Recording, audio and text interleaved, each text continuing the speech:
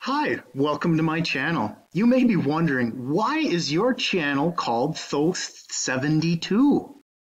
Well, I'll tell you. Thoth actually is an ancient Egyptian god of science, the Egyptian god of mathematics, the god of logic and reason.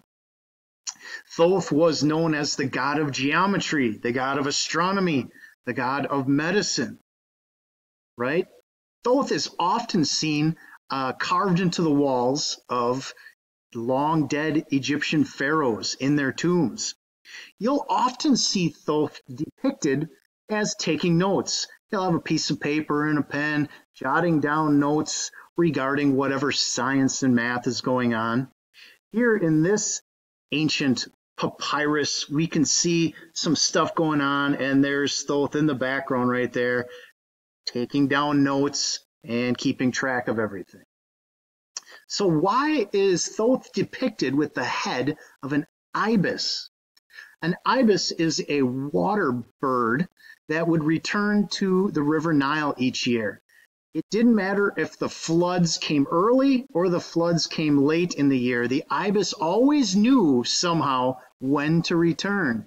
And the ancient Egyptians could never figure out how this bird was so smart and knew when to return to the flooded Nile, hence the god of science.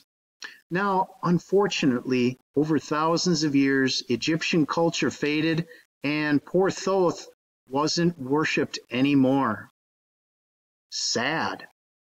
However, in 1972, Thoth was reincarnated in a child born in Brookfield, Wisconsin. This child was born with all of the powers of Thoth science, mathematics, logic, reason. This child, it was me. I am Thoth 72.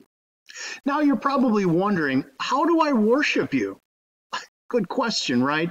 The best way to worship me is to subscribe to my channel, ring that bell for notifications, leave a comment, and I will be posting a lot more co content in the weeks to come. Thanks for coming. I'll see you soon. Bye bye.